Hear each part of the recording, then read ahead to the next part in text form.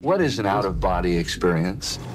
An out of body experience is a state of being, a state of awareness, a state of action, uh, separate and apart from the physical body. Now, we've heard about people who have supposedly died and then have come back to life. That is also an out of body That is experience. indeed an out of body. It's a rather extreme way. I left my body and I was in the universe. Well, I was with God. instantly zapped out of that body to a body in India. The shamans, Buddhists, and yogis have been doing this for hundreds of years. The ancient Egyptians would carve instructions of out of body experiences into the rock faces. You know, I'm sitting in the corner of my room watching myself sleep that night. For three days, I was in what I would consider a different dimension. When I came back into my body, I had something that I didn't have before that. I brought something back from that realm. And I felt everything. I knew everything. I knew everything about the world, why I was on planet Earth, why everyone else was on planet Earth. The trajectory of my life was, was radically altered by that experience. When I saw myself separate from my physical body, I realized I'm not limited to it. In fact, maybe there are no limitations. The out of body experience stories in this documentary reveal that what lies on the other side is insane. Not only do these stories take people out of their own bodies or across the world through astral projection, but they can also allow experiencers to come back with increased connections to the other side. But first, what is an out of body experience? You may have heard of a near death experience where someone dies and experiences different dimensions, heaven, or the other side. Near death experiences are types of out of body experiences, but here's the thing most people don't know you don't need to die to have an out of body experience.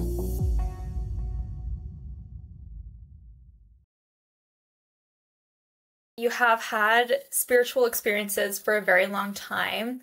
And I think one of your first notable ones was an out of body experience when you were 13. Can you tell me about that? So I had an out of body experience when I was 13 years old that lasted three whole days. I interviewed David Masters. David is an author, meditation expert, and self described dimensional voyager. He has spent over 50,000 hours of his life meditating. That's well over five years. And through that practice, he has been able to access insights most others can't see. In in each ex- aspect of this experience, I was observing my body interacting on a regular daily basis with the people that I lived with, my family, my friends at school. Uh, I would go to school and I would just be up there like a, a helium balloon attached to my wrist, about maybe six or eight feet above me. And I would see myself speaking to my friends and sitting in my classroom. And then I would go home and have dinner. And at the end of the first day, th- this was very strange to me. It's like, what happened? You know, I'm sitting in the corner of my room watching myself sleep that night. But I will say this that there was not a time component in the sense that I sensed time passing. I didn't. It was like a timeless realm that I was kind of tethered to. And so the next day I get up, the same thing happens. And then at the end of the second day, I'm beginning to wonder how long is this going to last? You know, I, I was outside of myself, although as I was observing all of my interactions with people, I was super aware of myself, um, my my mannerisms, my speech, the way I walked. I was super aware of everything about myself as well as the people I was coming in contact with and the things I was doing that day. Third day, same thing, all over again. The end of the third day, um, up in the corner of my room watching myself sleep, and then the next morning I woke up and I was back in my body. Now I've I've coined a phrase for this, and I, I think this is where everything in my life, the, the trajectory of my the trajectory of my life was was radically altered by that experience. Because for three days I was in what I would consider a different dimension of this world that we live in.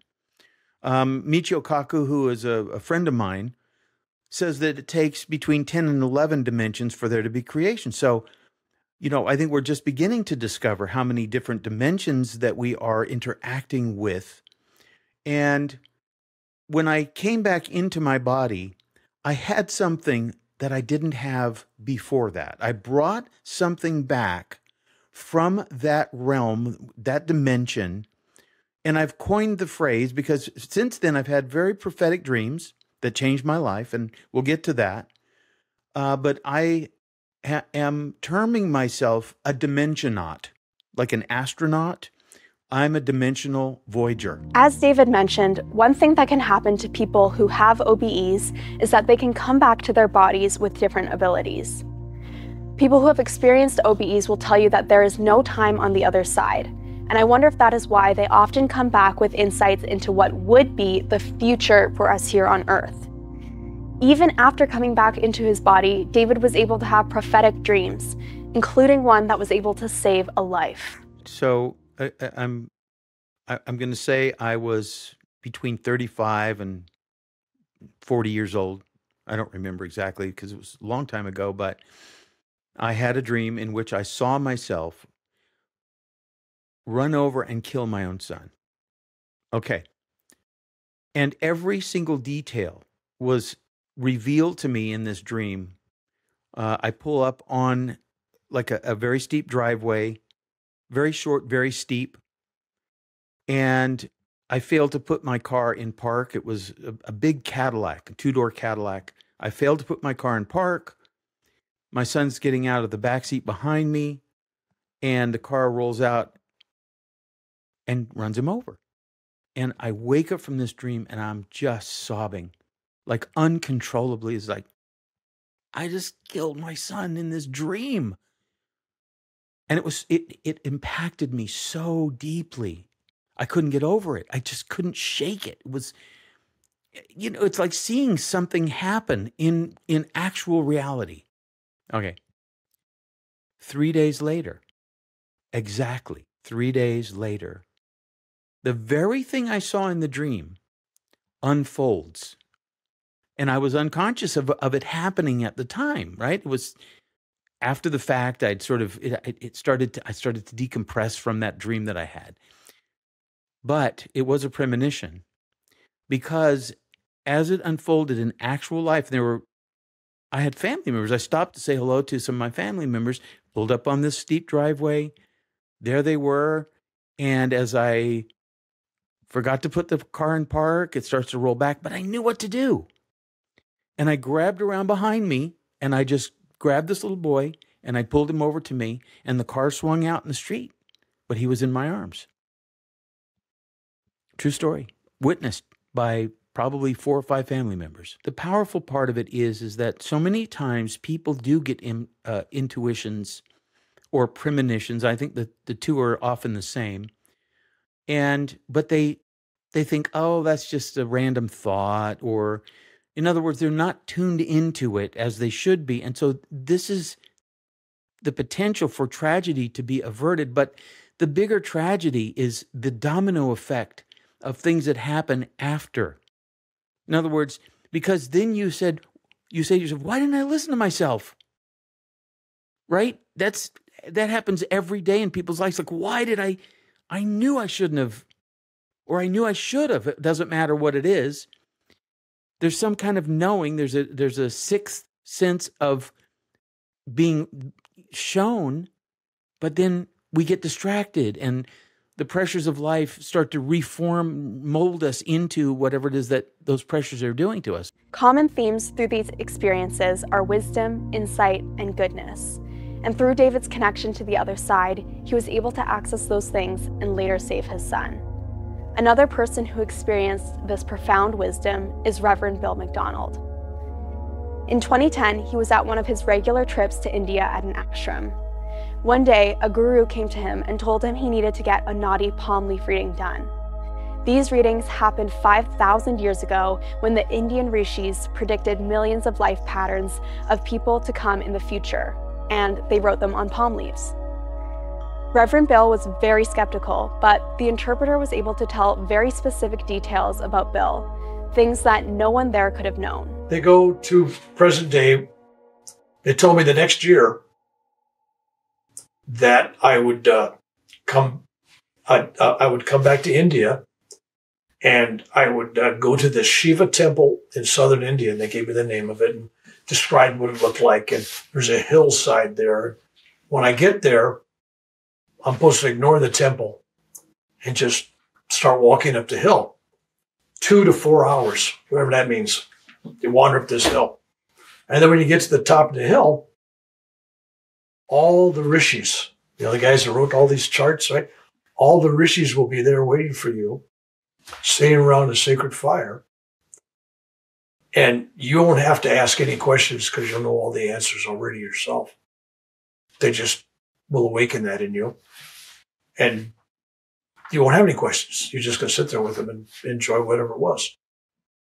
And so that was a stupid prediction. I thought, well, that's a really dumb prediction. Okay. So I get to India and I'm introducing this guru all around India and Mumbai and Pune and these different cities. Big audiences, you know, thousands of people.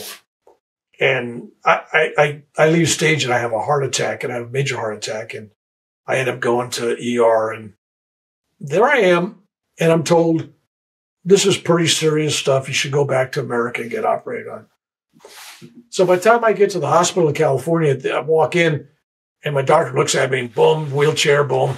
I'm in ER. That's it. I mean, I just went to see my heart doctor and boom, I'm, the next thing you know, I'm in uh, uh, ICU, uh, which is intensive care unit. I always thought that was kind of funny because I see you and I, I see you too.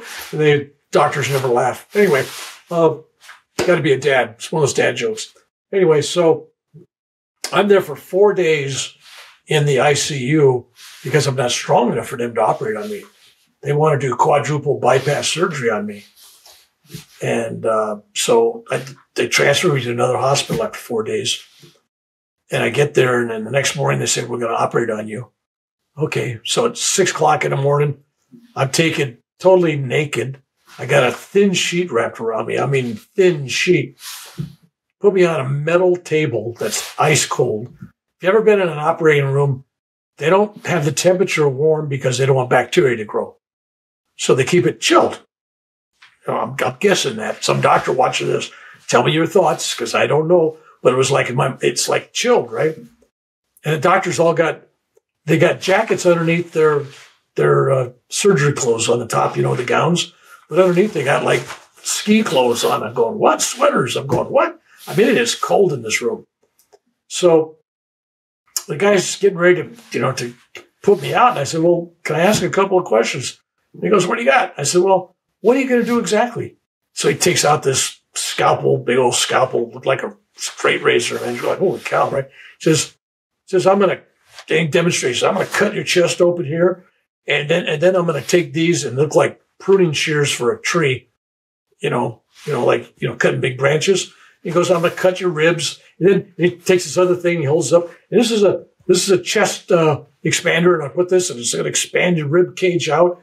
He says, and then I'm going to go in there, and I'm going to do this, that, and then I'm going to cut your arteries. I'm going to attach it to this machine, and then I'm going to stop your heart, and I'm going to stop your lungs, and you'll be on a heart lung machine. Going to pump oxygen into it, and it's going to and it's going to keep the body, well, you know, going. And I go, you're going to stop my heart? You're going to stop my lungs? I'm not breathing.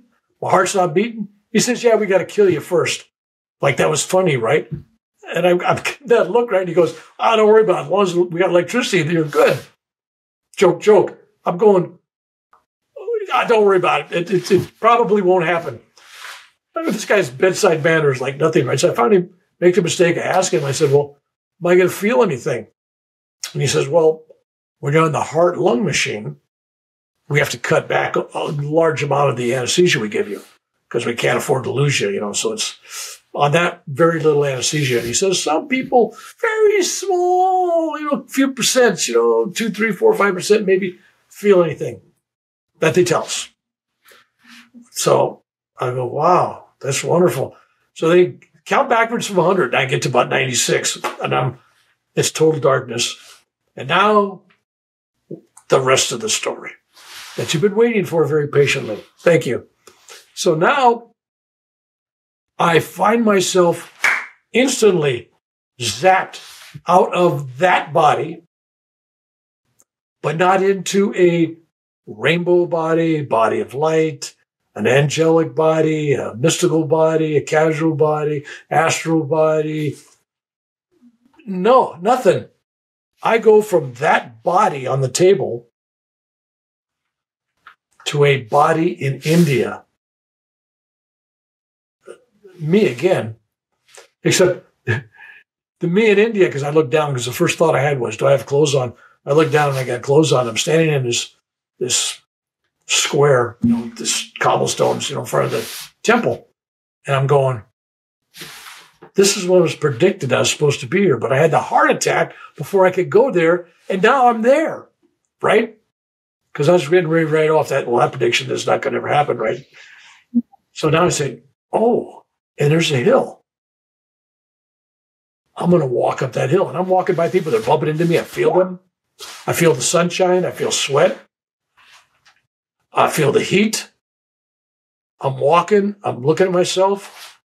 People see me. I see them. There's no illusion of a, of a, of a, a, a of any kind of non-body person. I am a body, but my body, the other me is being operated on the operating table because every once in a while I could feel like hands in my chest. You know, I could kind of, there's something going on here. I could kind of feel it here, right? So I go, well, I got nothing better to do. The operation's supposed to take six to eight hours. I might as well walk. So, and there's no time in that dimension where I'm at, right? So it's like, I'll just start walking. So I walk up the hill and I come to a clearing and there's all the rishis. Like there's like 18 or 19 of these guys. And they're all sitting around on logs and rocks and there's a fire. And so come sit down, right? So and it's like I didn't need no introduction. I knew them all. They all knew me. And then there was one other guy. Remember the, the guru guy that sent me to the uh, get the reading? He was there.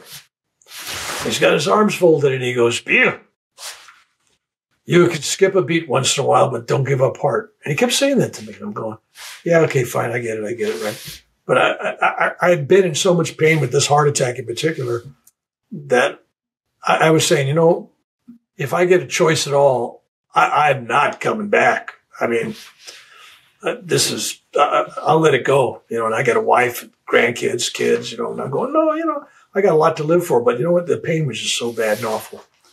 And, uh, so I'm there just enjoying the peace and the bliss of this place. And the guru keeps telling me not to give up the, you know, skip a beat, don't give up heart. You know, I gotta, I got to come back, you know, and all this stuff, you know. And all of a sudden there's clouds. Remember those clouds? Clouds are back. I get clouds on the horizon line. And I hear this voice, feminine, soft, beautiful female voice. Of course, anytime I've heard the voice of the divine, it's always the divine mother. It's just that spiritual, loving voice. Uh, very soothing. And maybe that's because it's soothing and it's makes you feel comfortable. I don't know. I don't have a theory for that other than the divine voice. I've never heard it other than a, this beautiful, soft, feminine, powerful voice. And it says, Bill, just give up heart. Let it go. You don't owe anybody anything. You, you don't have any debts. You don't have any karma to pay. Come, just stop breathing I promise you love, peace, joy, bliss. It's, it's all there. Just come. And then the guru guy keeps interrupting, saying, Bill, you know, blah, blah, blah, blah, blah. And I'm going, well, what are you promising me? He says, I'm promising you more pain than you ever had in your life. He says, up till now, I mean, because I used to go to the dentist and yeah, drill down the nerve. I don't need no shot, just drill. And the dentist be going, and I'd just be going, you know, do it, man. So I could overcome any pain. with mental, spiritual techniques and things I learned from yoga. And he's telling me, no more. Now everything you do is going to have to be learned so you can teach it so a normal person can do it. And I go, what? You're promising me more pain? And he goes, and suffering. And suffering. And she's promising me bliss, joy. What kind of sales pitch is this? You're never going to sell very many cars. Come on. You know, so it just keeps going back and forth and everything. And, and then finally he goes, end, kind of does this. And then that cloud start filling up with a panorama, a sea of endless faces men, women, children, a few dogs, a few cats, a few birds. Black, white, Chinese, Vietnamese, Mexican, uh, French, German, whatever, all these different nationalities. And it just, and then he tells me, he says, you don't owe these people anything but they won't get the gift that you're going to give them if you don't come back. I go, what gifts? Some might just be a smile. Somebody might have saved their lives suicidal. Some may have changed their life. They became spiritual. Some may have been healed. Some may needed inspiration. Some just saved a marriage. Some just, you made them smile and laugh. But all these people are waiting for you.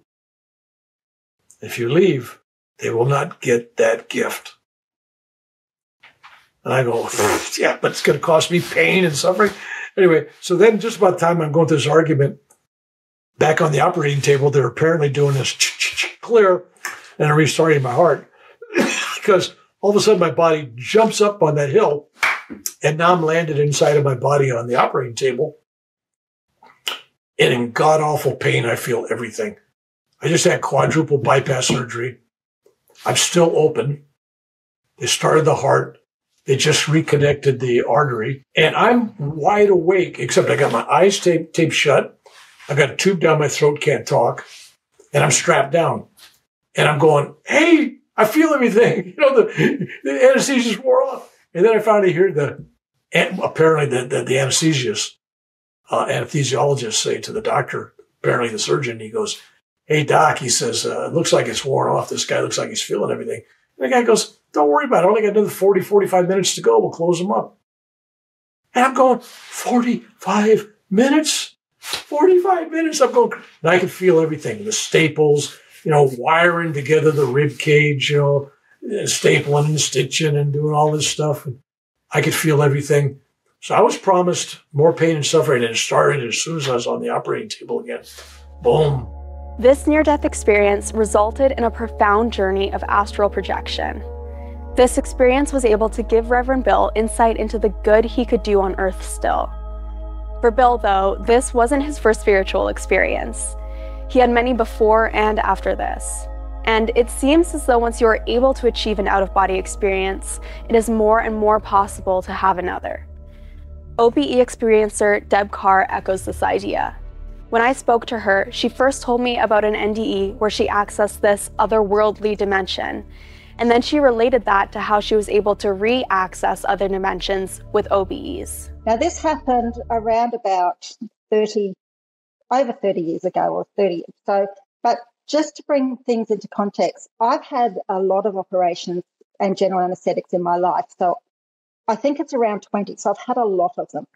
The most recent one was maybe 18 months ago when I fell down the stairs and I slashed my arm open and had to have that surgically re- repaired. And about four years ago, I had major surgery, emergency surgery, where I was under for a long time and um, saved my life. So I've had a lot of operations. But this particular event happened in one about 30 years ago, and it's never ever happened to me in any of the other anesthetics I've had. And when I was in the anesthetic, I left my body and I was in the universe.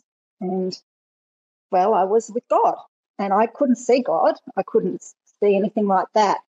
But I could see all the stars and I could see just the universe, and I was part of it. And I was part of God, or I guess you would say these days, divine energy.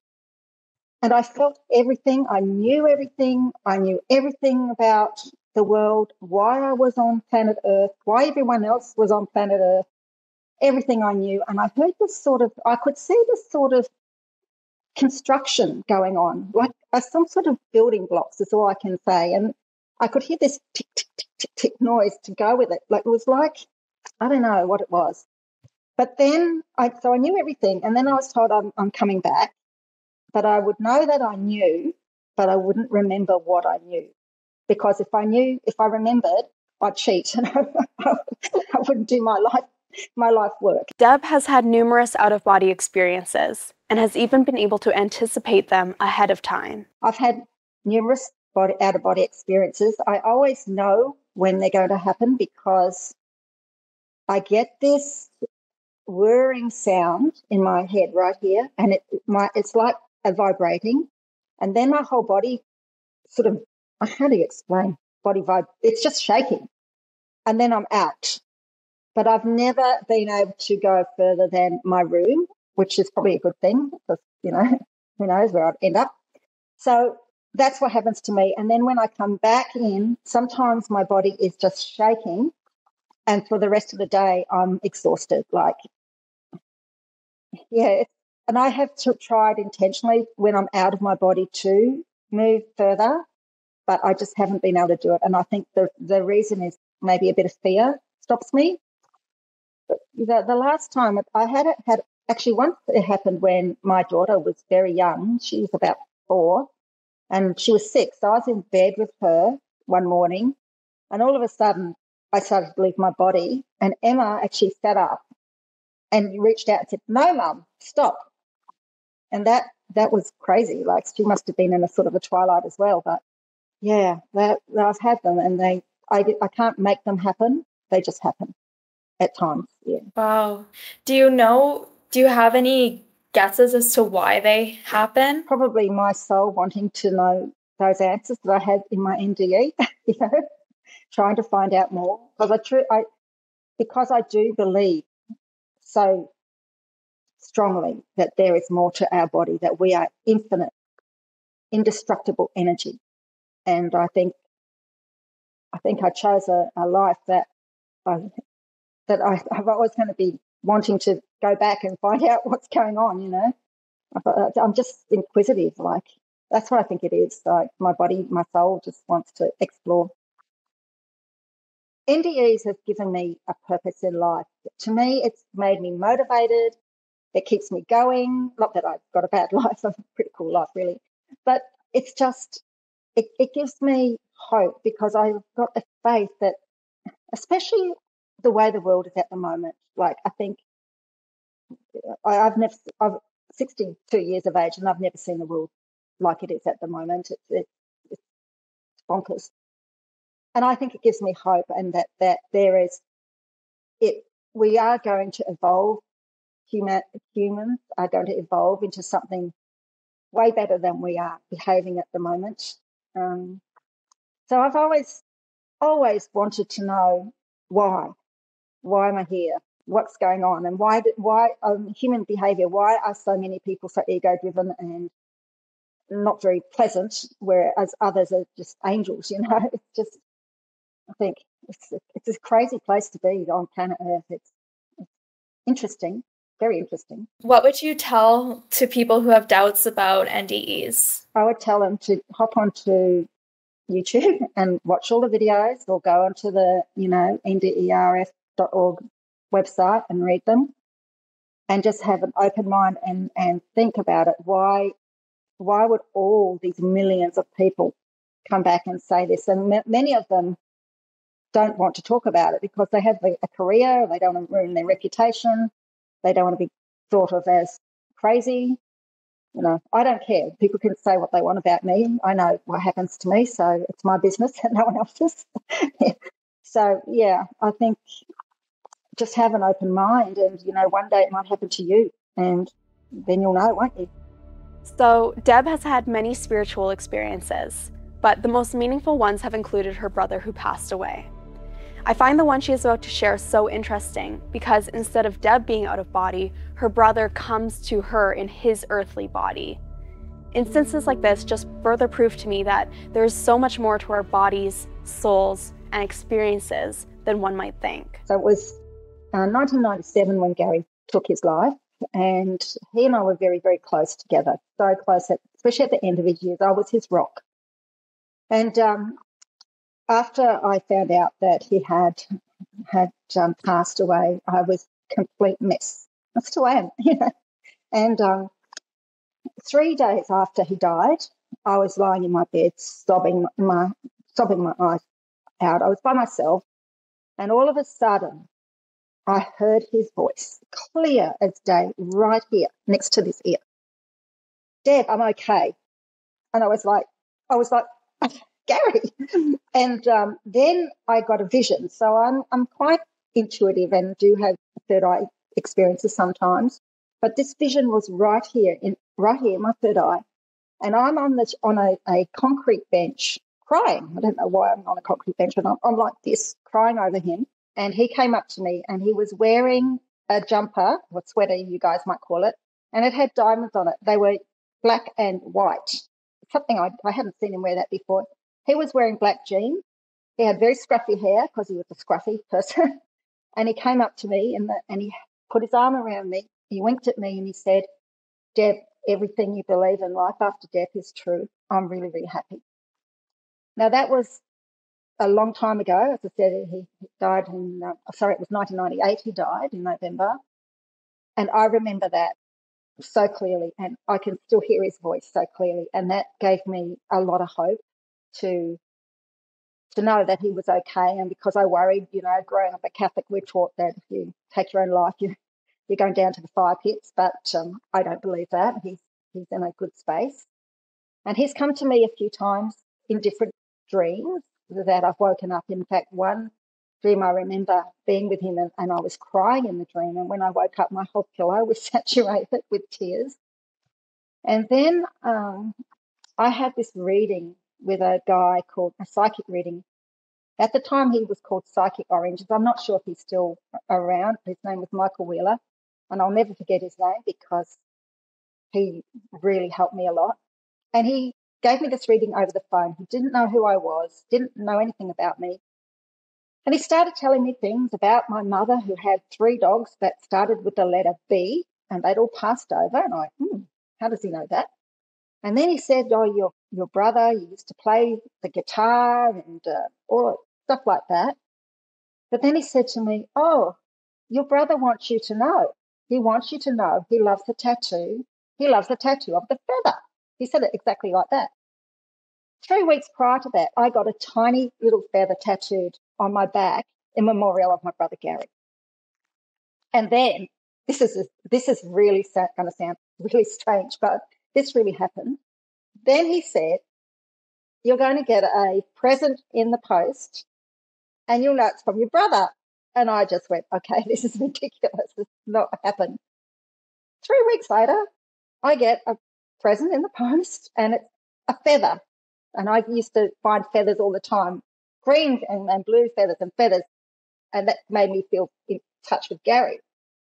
And it was this feather and it was encased in a, a, a frame and it had a poem on it. And the poem was, An angel is looking down upon you and they want you to know that I can't remember all the words. And I just, just w- looked at this and I went, how can this be? Like, how, how? And what happened was a lady had sent it to me.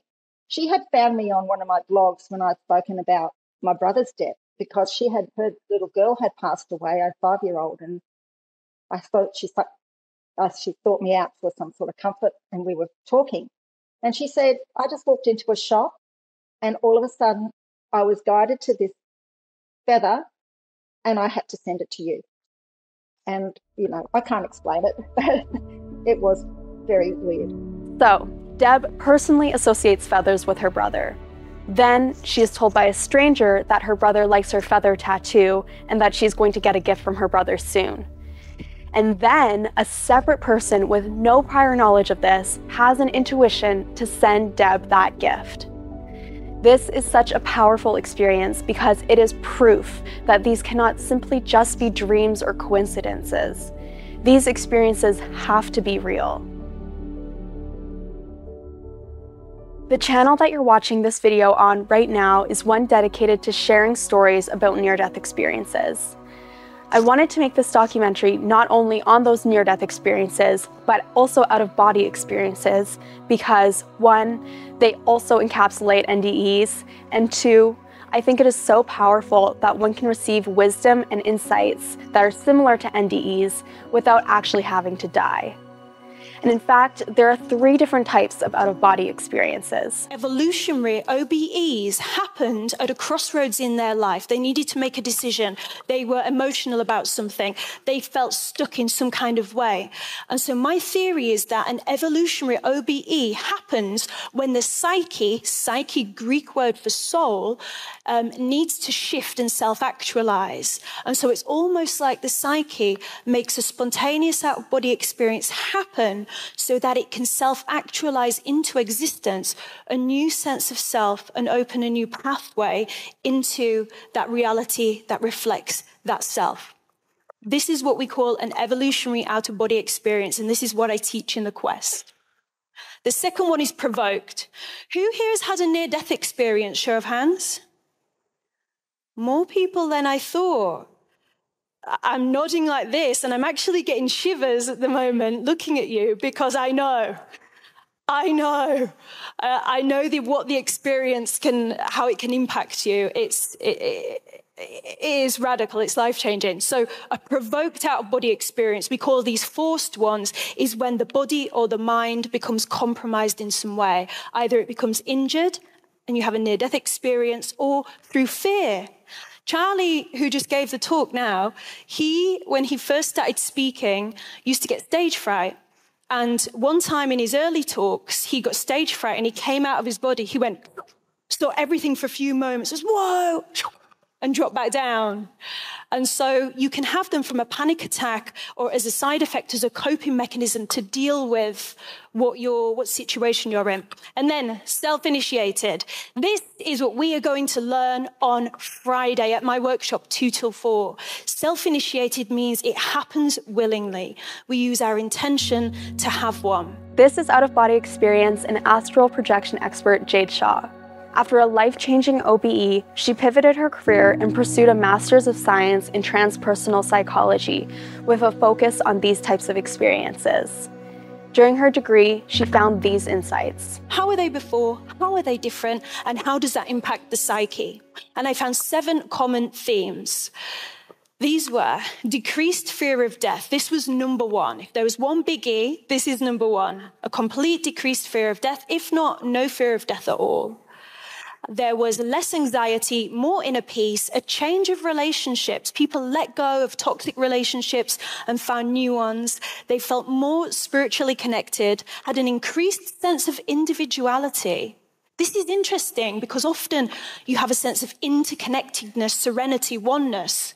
And paradoxically, that made people feel a sense of their individuality. And then there was a greater self awareness and a radical new life view. This radical new life view was the biggie. This was the big one because it changed, like me, the course of my life. The shamans, Buddhists, and yogis have been doing this for hundreds of years. The ancient Egyptians would carve instructions of out of body experiences into the rock faces of temple walls. The Greeks would practice or do astral projection in the mysterious Elysian rituals that they would use to initiate the highest order of people. And there was this anthropological study that looked at this around the world. They looked at 60 cultures and they said, okay, out of these 60 cultures, 90% said, yeah, we've heard of out of body experiences, it's a thing. Out of that 90%, 46% said, yeah. And we have a practice for it. We do this so that we can leave our body and go across the Himalayan mountains to get to teachings from our masters at the other end of the country that we can't get to in body. And we bring that information back to our community. We do this to go find where the buffalo have gone, where the herds have gone, so we can come back to our body and tell the hunters where to go and hunt the next day. We do this so we can manifest things into existence, receive guidance, and help others. We do this so that at the point of death, we can meet the end of our life, not only with no fear, but with joy. Many people think of OBEs as a niche hobby that may or may not be real, and if it is real, only certain people with special abilities can access them. However, Jade's research on OBEs proves that this is more widespread across history and cultures than some may think. Another group that looked into utilizing OBEs and astral projection was the CIA. Many of the documents of the, their investigation into this are now publicly available on their website. And the mission statement, declassified in 1999, was to establish a program using psychoenergies for intelligence applications, specifically utilizing that field of psychoenergetics referred to as remote viewing. And of course, the CIA caught wind of it, didn't they? They were like, oh, I, what's going on here? They're doing all of these crazy shit. Let's see if we can do it. Let's see if it's real. So the CIA went and practiced this in the late 1970s to the early 80s. They sent a team of their agents over to the Monroe Institute, which is the world's largest institute for out of body experiences. In fact, we partnered with them to make the tracks for the quest. So the stuff that you hear on there, the Hemi-Sync, uh, the binaural beats, was produced by the Monroe Institute. The, they went over there, the CIA, and they wrote a report. This is what they said in the report. The out of body state may be regarded as an extremely effective way to accelerate the process of enhancing consciousness and of interfacing with dimensions beyond time space. All of Jade Shaw's research is very interesting, but what I find most impactful is what she says about why these experiences are important.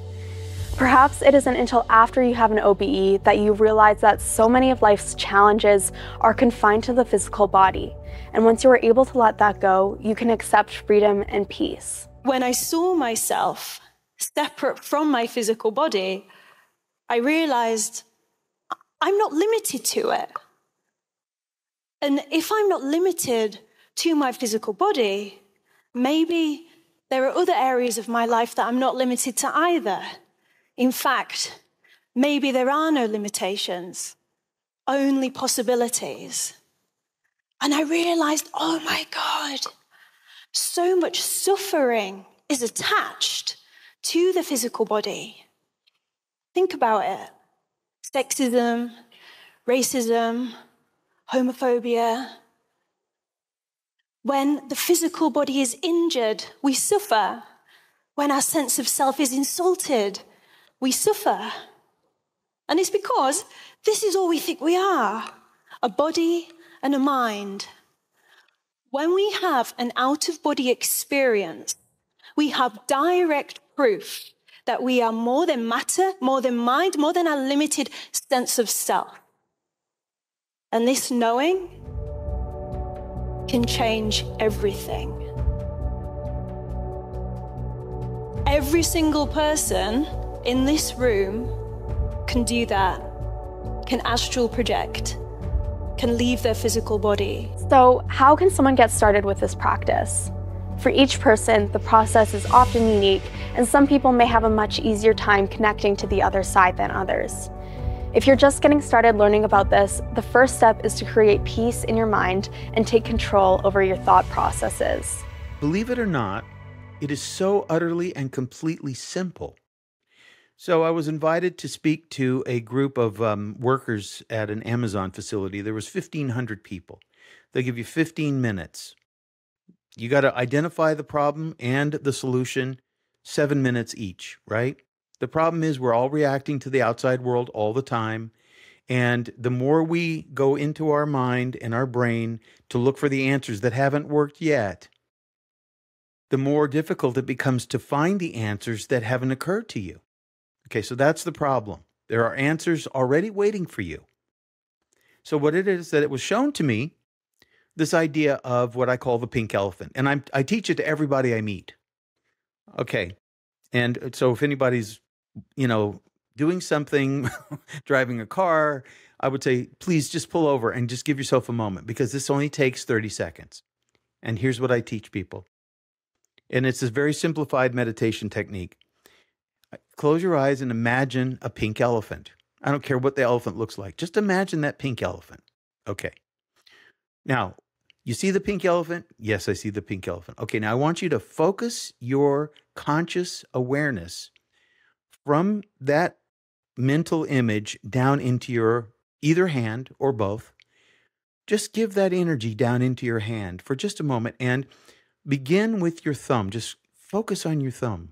Give it a little bit of your attention until you feel the tip of your thumb your thumb start to tingle. Now shift it to your next finger.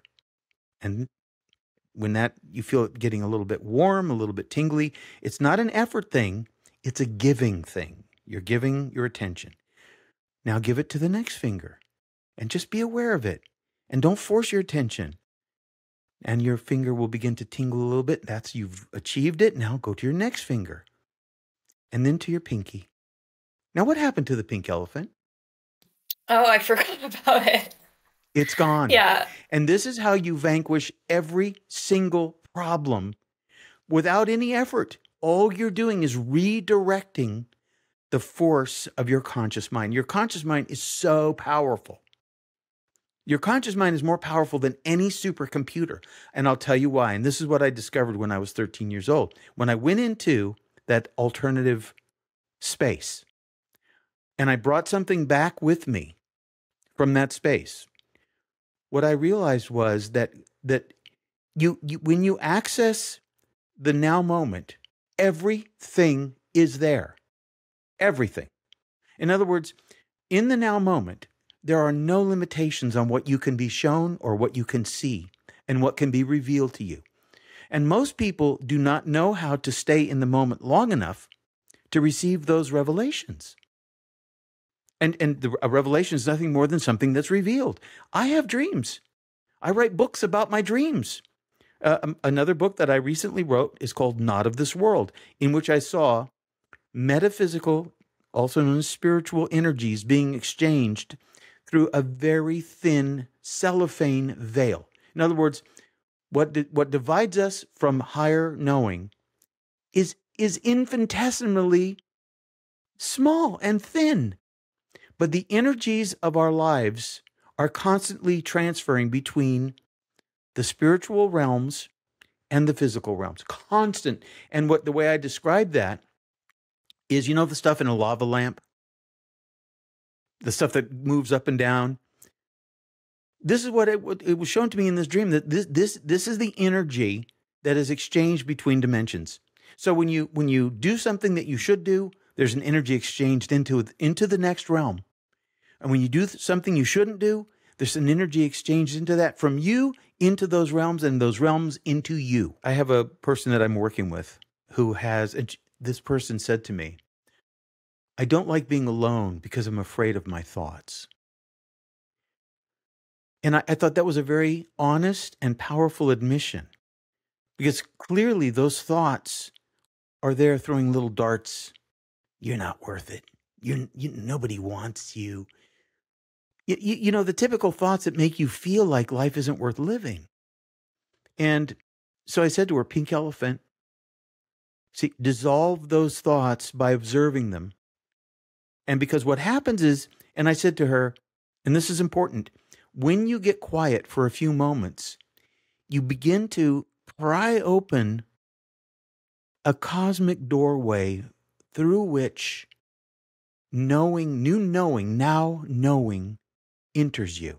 And once it enters you, it's an accumulative effect, like sands in the hourglass. When the now knowing comes into you, it changes you and it cannot be driven out. That's a little bit of light. If you're in a cave and you have no light, then you have to feel your way. And You can't see anything, but a tiny little match can illuminate an entire cave and gives you potential for a direction that you never would have known to go. David talks a lot about the importance of meditation and how this quiet can guide us towards our intuition. This is another crucial lesson many spiritual people will tell you. You have to listen to your intuition. David learned this lesson when he was 17 and almost drowned. He was planning on surfing and was just about to go out when he heard something say to him, Don't go out today. He didn't listen and then heard again, Don't go out today. At 17, he said back to the voice, Who are you to tell me what I can and cannot do? When he was surfing, he had an accident and punctured his lung and barely survived getting out of the water. Now he says he thinks that this voice, this intuition, was his angels looking out for him. Uh, I started meditating after I had that accident uh, when I was 17, where I almost drowned. I realized, I mean, it's like, I'm not really paying attention. I'm not, yeah, I get little glimpses of it, but what if there's a lot more for me to be aware of that could potentially change the many courses of my life, right? And so that's when I started meditating. I've been meditating now for 53 years. And the more you meditate, the more you become a vessel for those little accumulations. Of the, I call them like lights, sand of light. And, and oh, this is another thing that happened to me. After I started meditating when I was 17 years old, nothing, I was like, felt like I was in a dark cave, right? And it's kind of like that, that uh, pink elephant meditation. I just became aware and anchored myself in the now moment. And a year went by. I would sit and meditate every day, sometimes an hour, two hours. I would meditate, try to try to let go of all the thoughts. Nothing. It was just black, like a, a black cave. At the year end of a year, I see a little tiny, tiny pinprick of light at the end of what seemed to be a tunnel. Close my eyes. There's a little tiny pinprick of light. Okay, I said, this is maybe this is progress. Two years. The light got a little bit bigger. You see, Three years, it got bigger. Four years, I see the end of the opening in the end of the cave. Five years. One day, I'm meditating, I'm focusing in the now moment. I come out of that cave of my mind, and you know the the um, code in the Matrix movie, the trickling code that trickles down the screen. This was white code trickling down wherever it is that I emerged from into into that realm. And so I was uh, 23, almost 24 years old when that happened. But what I realized at that moment was this is when my real life begins. This was all just a, it was a, a prep session that lasted me 24 years to get me ready to come out into and emerge into the next phase of my life. Now, it doesn't necessarily have to take that long for everybody because I was a very selfish kid. I was selfish. I got angry at angels. Come on. you know what I'm saying? Who the hell are you to tell me what to do? It's like I, I had I had you know I had an attitude problem. I'll just I'll just do this meditation with you real quick, and please don't do this in your car if you're driving or whatever. You close your eyes. You become aware of this space right in the middle of your forehead. This is the pineal gland. This is a stimulating the pineal gland, which is the master gland of the body you become aware and you look out into what appears to be space in the middle of your forehead. Don't use your eyes, just become aware of that space in the middle of your forehead. And you can then begin to see, and this is a little bit of visualization, that you could see the back of your hand. It doesn't make any difference which hand. Become aware and see the back of your hand.